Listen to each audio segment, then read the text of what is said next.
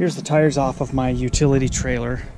Several years ago, I had bought a flatbed trailer and noticed that uh, it vibrated going down the road, so I took the tires in to have them balanced, and the tire shop said one of them was so out of round that they didn't even want to attempt to balance it. So ever since then, I've always balanced the tires on the various trailers that I have.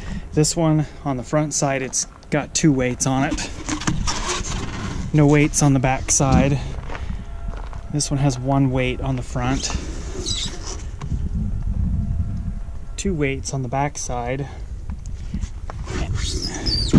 And I had decided to get these balanced because it was vibrating as well. Another tire here, we've got three weights on the back side.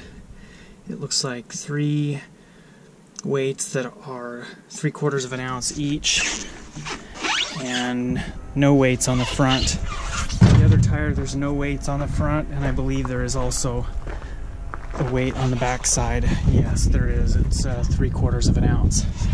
Once I get the tires mounted up, I'll spin them, and you'll see that one of these is out of round. I've got the two tires reinstalled on the right side of the trailer. So let's give this one a spin.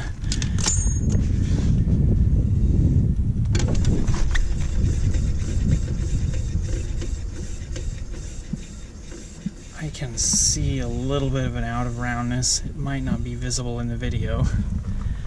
Let's try the other one.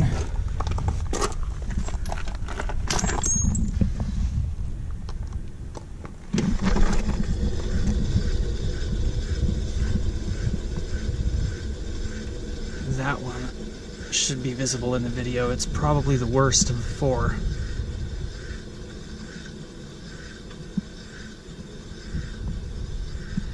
And that one probably contributed a lot to the vibration that I felt. I'd only feel the vibration when I was towing the trailer empty.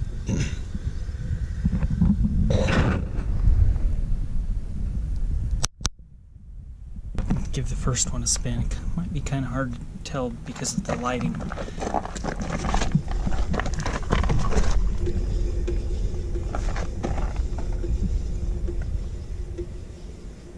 It is ever so slightly out of round.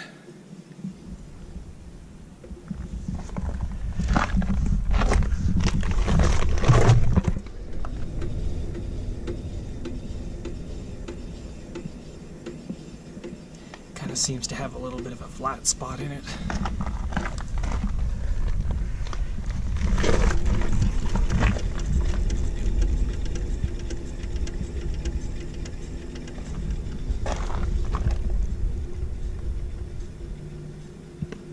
This one's slightly out of round as well.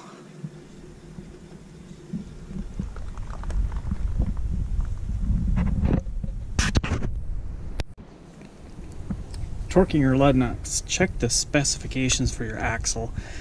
It will include torque specs for the lug nuts. Trailers are generally 100 foot pounds, 110 foot pounds, 120 foot pounds, but each size stud is going to probably have a different torque spec, so that's why it's best to check your uh, owner's manual. So on a five lug axle, we'll alternate. We'll torque this one first, two, three, four, five. Show again over here. So we go one, two, three, four, five. So we're always torquing across from each other.